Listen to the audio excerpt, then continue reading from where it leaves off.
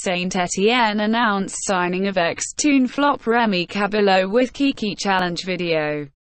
Former Newcastle United flop Remy Cabella has completed his move to Saint-Étienne with the League One side going all out to announce the transfer. Cabella was the big signing of the summer of 2014 when the Magpies paid Montpellier £8 million for his services.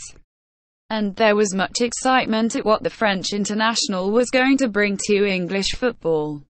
However, the 28-year-old failed to nail down a place in the team, scoring just once in 34 games in his only full season on Tyneside and was sent out on loan to Olympique Marseille before joining the French outfit permanently in the summer of 2016. The Corsica-born midfielder spent last season on loan at Saint-Étienne from Marseille, scoring seven goals and assisting six more that helped the team finish seventh in Ligue 1. Following a successful campaign last season, Les Verts have decided to sign Cabella on a permanent deal and the club have announced his return with their cringeworthy Kiki Challenge video. The French club posted a video of the midfielder doing the dance challenge that has taken the internet by storm.